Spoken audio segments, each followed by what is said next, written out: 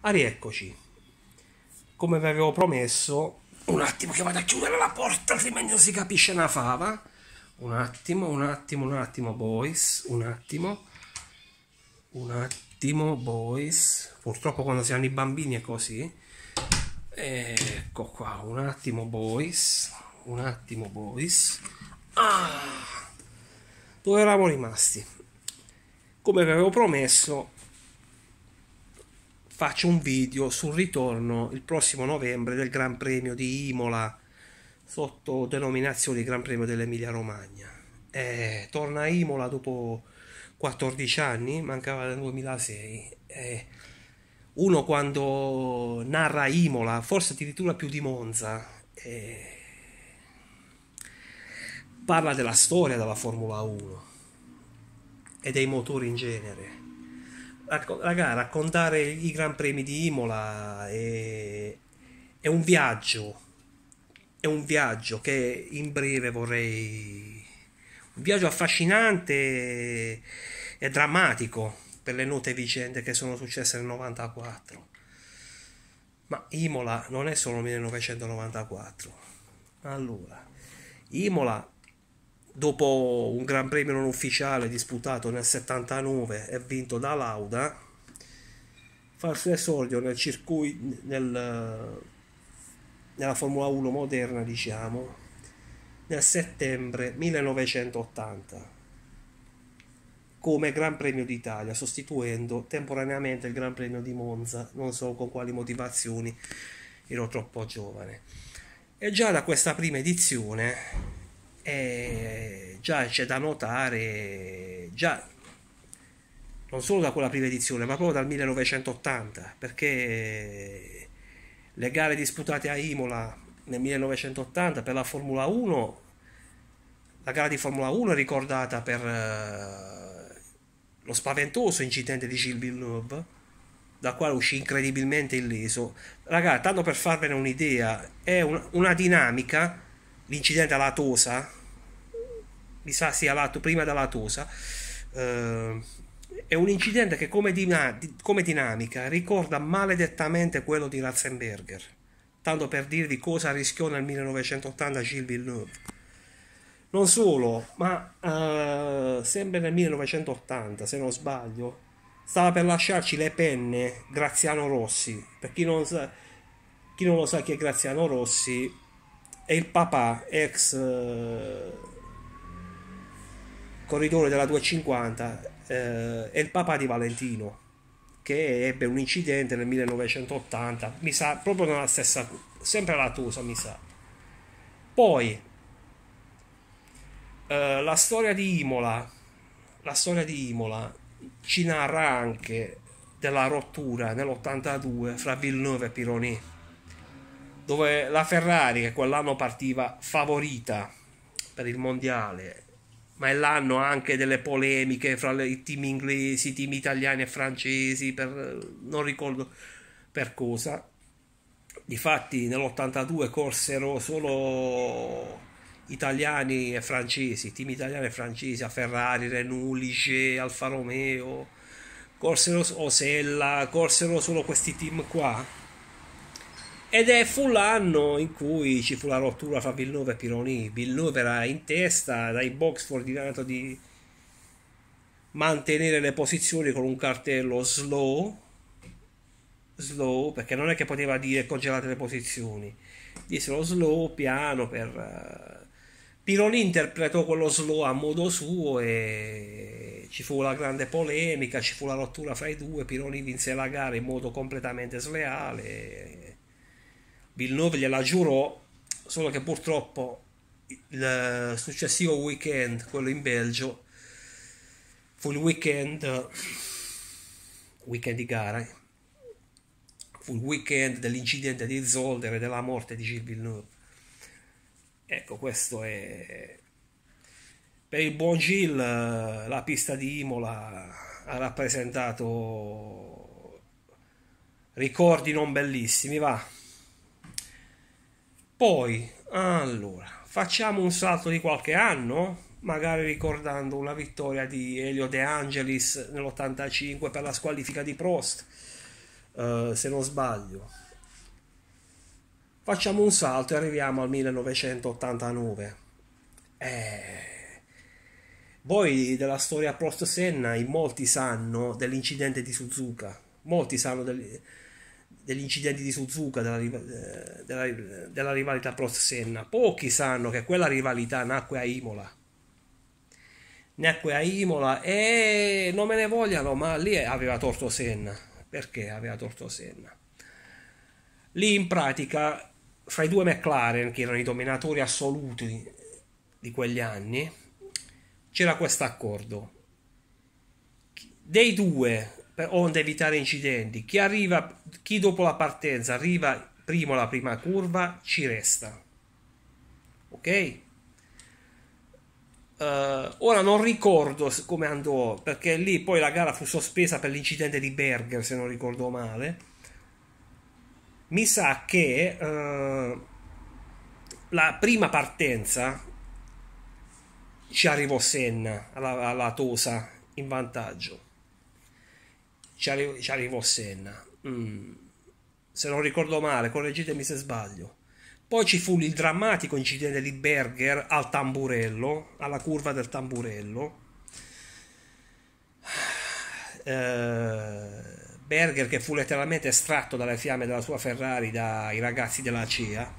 È famoso questo incidente e la gara fu sospesa e ci fu una seconda partenza. Furono congelate le posizioni, ci fu una seconda partenza. Sempre Senna davanti e Prost secondo. Partono, stavolta parte meglio Prost, hm? che arriva alla prima curva in testa.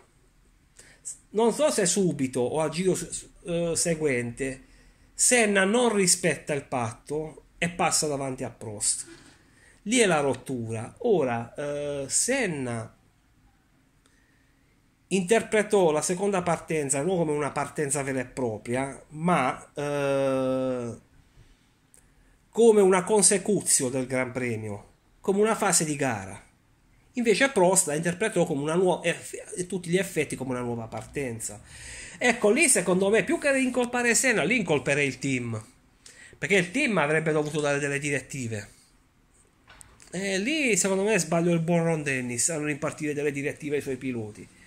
Però anche perché chi ha ragione? Per me ha ragione, per me ha ragione Prost. Anche perché se uno mi congela le posizioni non può mai essere eh, se uno mi congela le posizioni mi fa ripartire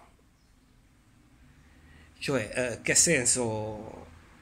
Che so, magari non su Senna, che so, tu con la ripartenza mi annulli, io Prost che sono secondo, mi annulli l'enorme vantaggio, un, un vantaggio che ho sulla terza. Quindi tu a me, tu mi penalizzi, tu mi penalizzi. E quindi a tutti gli effetti una nuova partenza. Non devi considerarla come una consecuzione di gara, ma sono delle sottigliezze talmente sì, io tenderei a, dare ragione a Prost, ma lì chi ha più torto è il team che avrebbe dovuto impartire delle direttive. E veniamo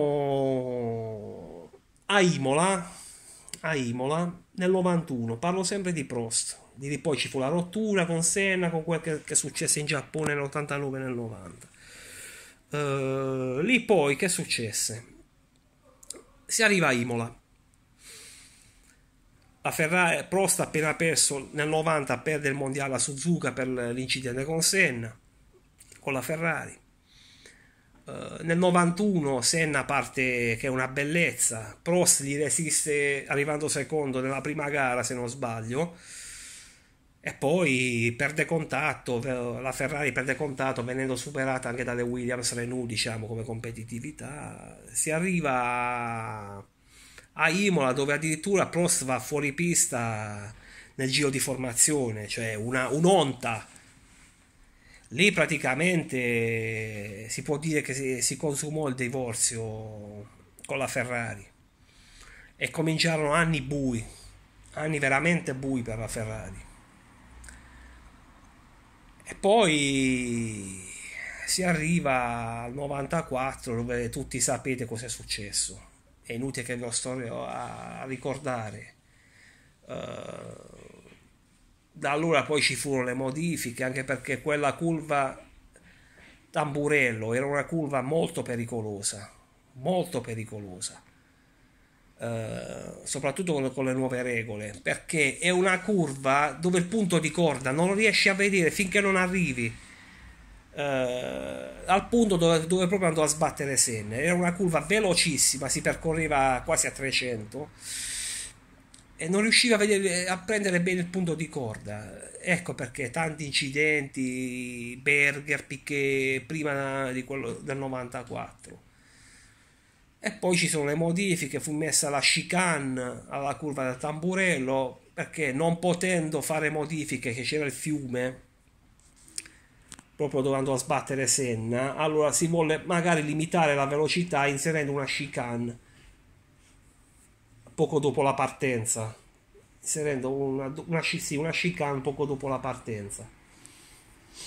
Poi il, il, punto fu, diciamo, fu eliminata la chicane delle acque minerali, fu messa una curva più o meno veloce, una doppia curva più o meno veloce, insomma furono fatte delle modifiche un po', un po' così. Furono fatte delle modifiche.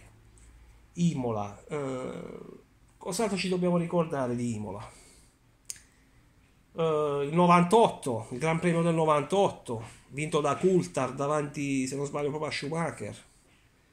Quando tutte le macchine, tutte le vetture si presentarono con quello stranissimo alettone. Andate a vedere su YouTube che cazzo misero sulle macchine. Una specie di di appendice aerodinamica che faceva veramente ridere. Sembrava il manico di un secchio, sembrava. Cioè, andate a vedere che cazzo ci misero sulle, sulle vetture. Non, non, lo so, eh, non il manico di un secchio.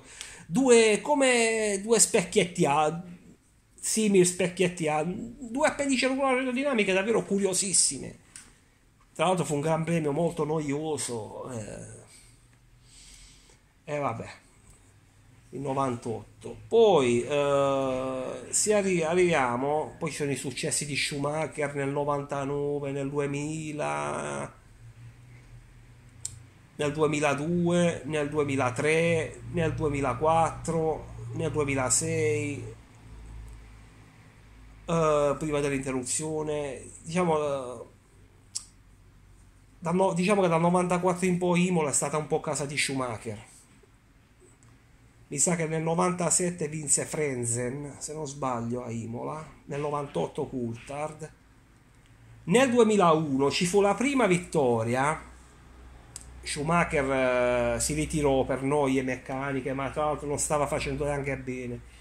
Nel 2001 ci fu la prima vittoria dalla Williams BMW di Ralf Schumacher, la prima vittoria di Ralf Schumacher che arrivò primo davanti a Coulthard ma dominando letteralmente la gara con la Williams che in rettilineo con le gomme Michelin volava.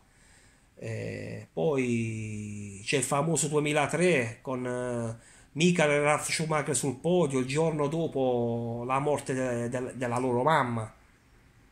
Eh, lì fu una cosa triste, un podio triste fu quello là. Eh, a poche ore dalla scomparsa della mamma Michael e Ralph andarono sul podio di Imola nel 2003. Tra, tra, l'altro, mi sa che quella fu la prima vittoria nel 2003 di Michael Schumacher, che ebbe un inizio stentato, poi si riprese, poi ebbe problemi in estate con le gomme Michelin, con quel caldo anomalo tremendo che favoriva di brutto le Michelin.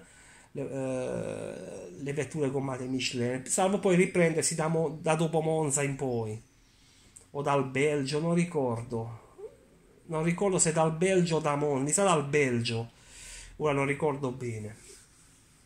E poi c'è nel 2005 l'assalto, una Ferrari nata male finita peggio quell'anno, ma la, diciamo che la migliore gara fu proprio a Imola, la F2005, dove mi sa che esordiva in quella gara la nuova vettura dove fino all'ultimo tentò di sopravanzare Alonso, ma lì fu bravo Alonso a contenere Schumacher che ce l'aveva appiccicato dietro da, svariati giri. Ecco, Imola dal punto, negli ultimi 40 anni di, di gare Secondo me abbiamo visto più cose di Monza, è più ricordata di Monza, ci sono stati più, più eventi drammatici, rotture, liti fra piloti, gare memorabili, trionfi, sconfitte, morti purtroppo, morti e incidenti. Però io come dico sempre, io preferisco Imola, preferisco Imola a, Gran Premi dove neanche, neanche Cristo si ricorda che esiste. Vedi l'Azerbaijan, vedi Bahrain, Abu Dhabi, cosa sono questi cazzo di piste ma ridateci Imola, ridateci... Il bello di questo campionato, vabbè, non c'è lotta perché c'è Hamilton che ha praticamente già distrutto tutti e va bene. Il bello di questo mondiale di Formula 1 è che stiamo riscoprendo piste classiche che avevamo dimenticato. Si torna in Portogallo quest'anno, si va a Portimao. Portimao che più che altro ospitava la Superbike eh, negli ultimi anni il Nürburgring, mi sa che torna a Nürburgring. E comunque il ritorno di Imola non può che far piacere ai tanti appassionati di, di Formula 1. Raga, lasciate un like, iscrivetevi al canale. Per i video ci, ci si vede stasera per Juve Santo, Sampdoria, sperando di festeggiare sto cazzo di scudetto stasera, dai. Dai, stasera lo festeggiamo, dai. Ciao raga.